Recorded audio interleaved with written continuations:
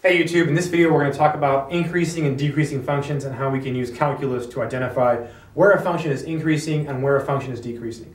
Let's just do it from an intuitive approach. So here's a function, and it's increasing obviously, right? So this is an example of a function that is increasing. Okay?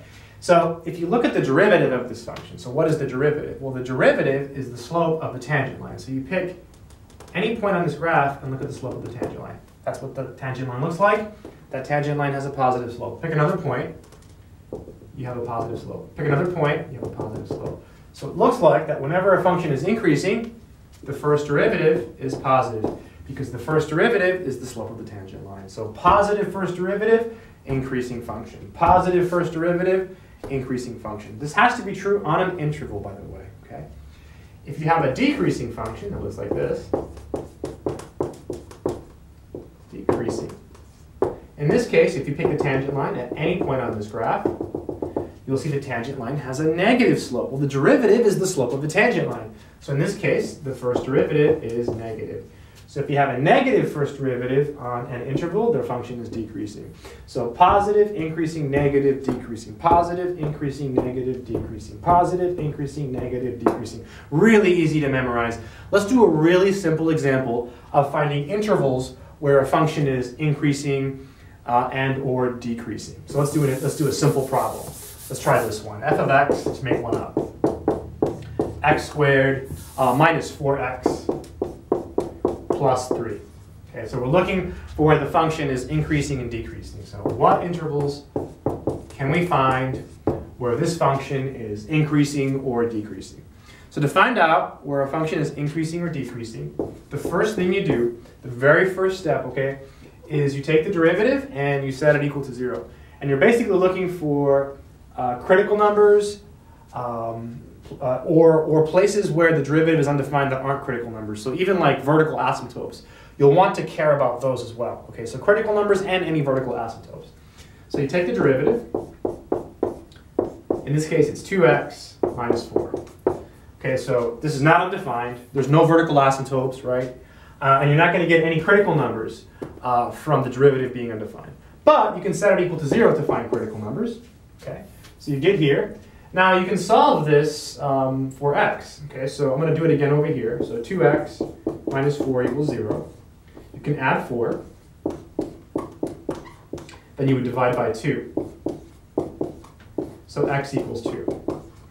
So this is actually a critical number in this case, right? This is actually a critical number uh, because it's in the domain of the original function. So we care about this. Right? I'm going to put it in the box. Okay. So you take this number, and now what you do is you put it on a graph. Okay. So again, step one: take the derivative.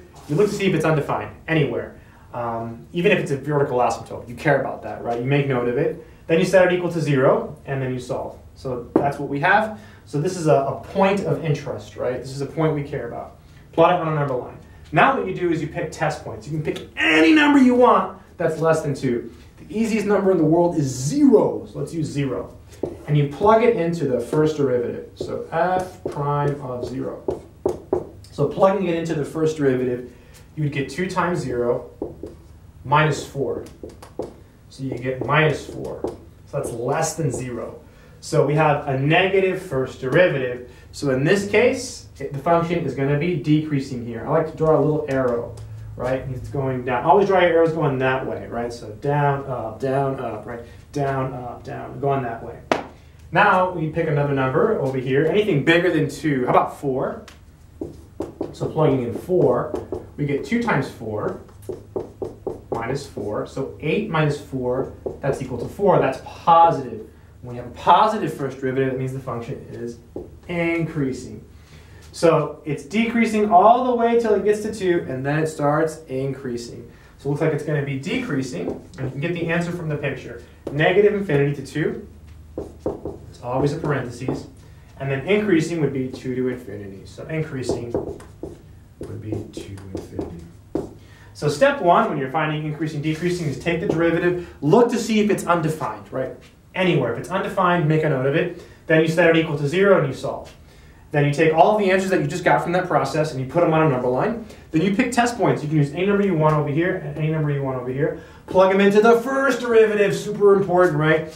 If it's positive, the function's increasing there. If it's negative, the function is decreasing there. Then you can get your answer from the picture, right? So decreasing from negative infinity to 2, increasing from 2 to infinity. So um, I hope that made sense. Um, that's it. Uh, thanks for visiting my YouTube channel. Bye.